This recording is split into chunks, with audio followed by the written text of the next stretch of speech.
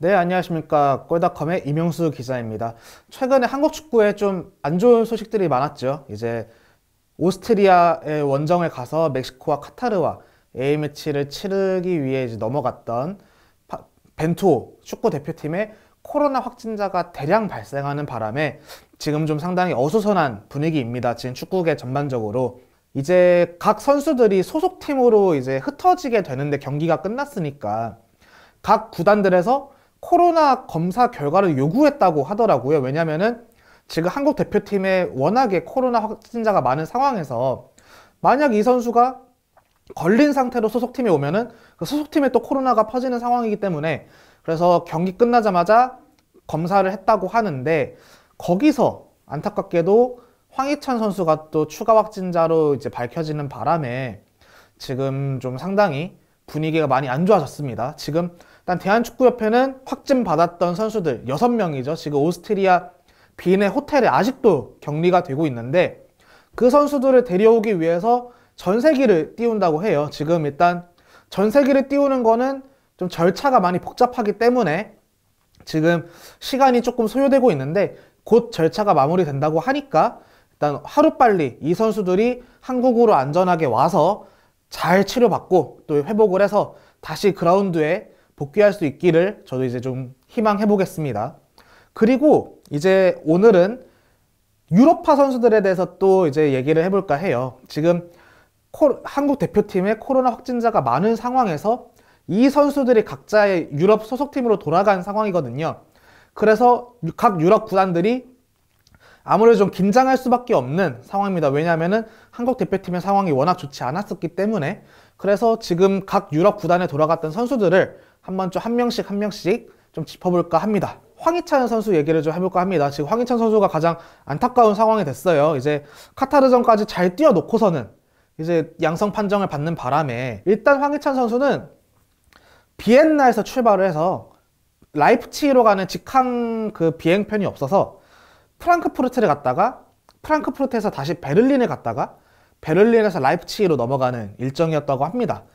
프랑크푸르트 공항에 내려서 다시 베를린으로 가는 비행기를 아마 타기 전에 그 코로나 양성 소식을 들은 걸로 알고 있어요. 그래서 일단 이동하는 도중에 얘기를 들었기 때문에 지금 뭐 거기서 어쩔 수 없는 상황이었을 거고 그래서 베를린에 이동을 해서 거기서 구단이 마련한 방역 차량을 타고 라이프치히로 갔다고 저는 그렇게 전해 들었습니다.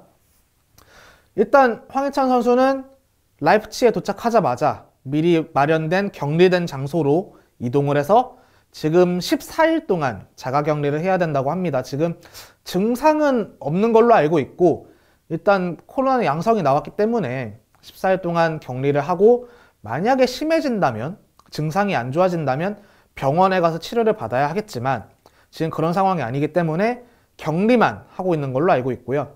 지금 나겔스만 감독은 어제 황희찬 선수가 격리 기간을 포함해서 약 3주 정도 못 나올 것 같다. 14일 동안 격리를 한 다음에 일주일 동안 또 몸을 끌어올리는 시간이 필요하고요.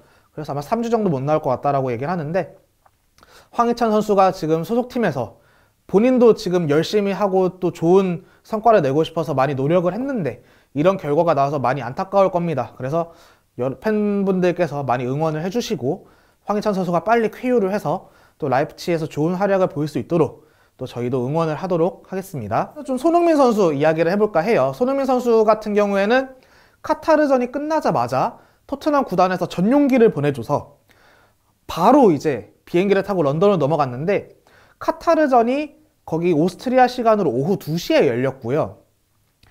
그래서 이제 경기 끝나면 4시 정도가 되고 이제 6시 반에 바로 비행기가 출발하는 일정이었다고 합니다. 그래서 경기 끝나고 샤워하고 옷 갈아입고 바로 이제 미리 준비된 그 승합차에 타고 공항으로 이동해서 이제 런던으로 향했는데 아마 내리자마자 이제 코로나 검사를 받았을 거예요. 왜냐면은 토트넘이 이제 주말에 맨체스터 시티와 경기가 있는데 그에 앞서서 훈련을 해야 하고 훈련에 참가하기 위해서는 코로나 음성 확인서가 또 필요합니다.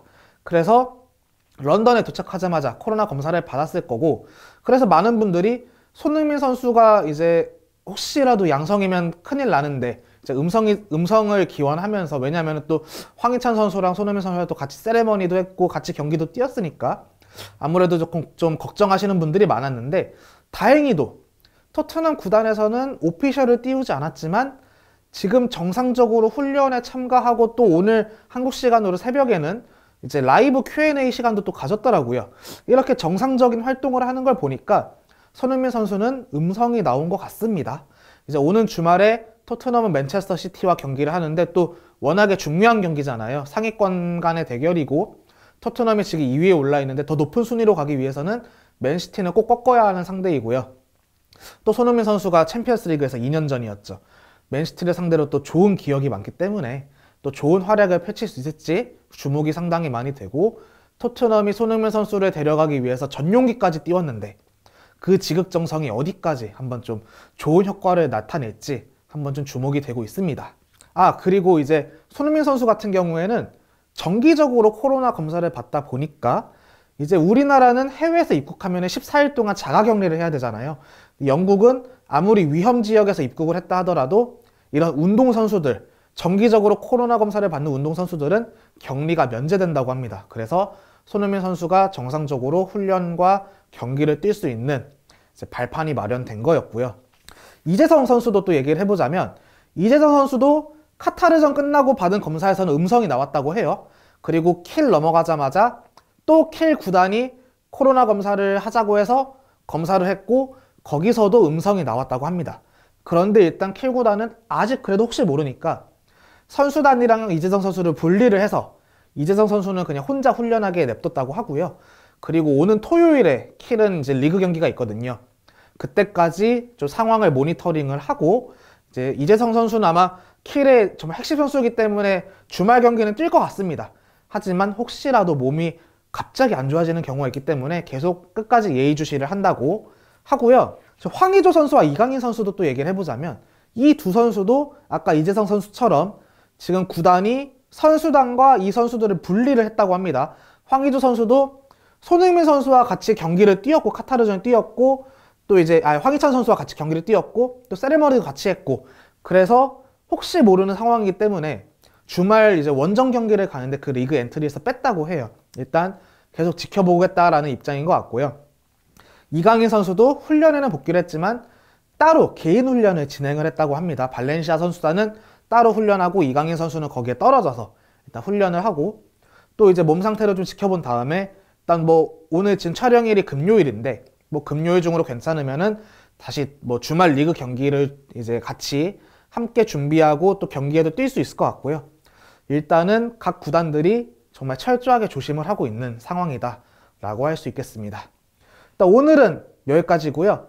지금 코로나 확진된 선수들 빨리 한국으로 돌아와서 또 적절한 치료를 받아서 회복을 했으면 좋겠고 또 유럽에서 활약하고 있는 선수들도 이번에는 코로나 당연히 음성이 떴지만 앞으로도 항상 건강 조심하고 또 유럽에서 좋은 활약을 펼칠 수 있기를 또 기원하도록 하겠습니다. 오늘 여기까지입니다. 감사합니다.